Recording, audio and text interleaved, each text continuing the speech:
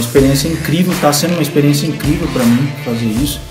E nunca imaginei, né, tipo, que a minha história viraria um livro.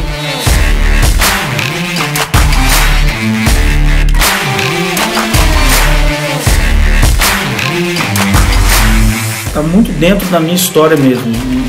Dicas assim que, que eu acho pra, pra vida mesmo, né?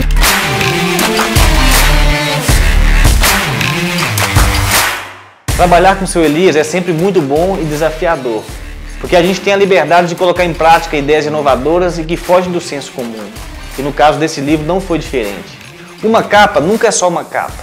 Ela tem que fazer parte de um conceito, uma ideia para atrair as pessoas, para que elas tenham curiosidade de consumir o conteúdo do livro. Todos os detalhes foram pensados e dirigidos de forma minuciosa, para que a gente pudesse alcançar o resultado desejado para o projeto. É, acho que o trabalho feito em equipe, cara, ele é fundamental assim para qualquer empresa crescer, para qualquer ser humano é, crescer profissionalmente, entende?